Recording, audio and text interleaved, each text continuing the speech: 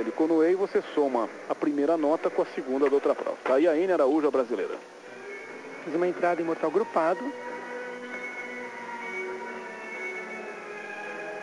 Uma sequência acrobática. Um leve desequilíbrio.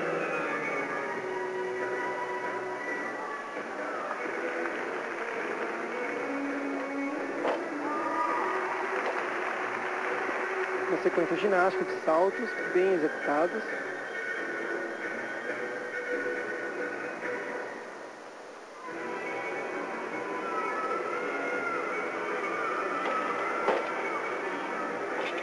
mortal para frente, mas ela teve um ligeiro equilíbrio parou um pouquinho antes de fazer o salto ginástico. Pode comprometer a bonificação.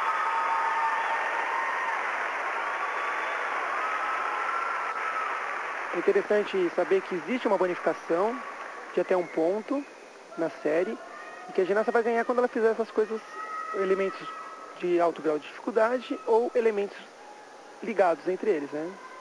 Grau de dificuldade com ligação indo muito bem na prova, preparando para a saída. Essa prova tem uma duração de até 1 minuto e 30 também, é cronometrada. Deixa eu ouvir o, o, o som né, do cronômetro.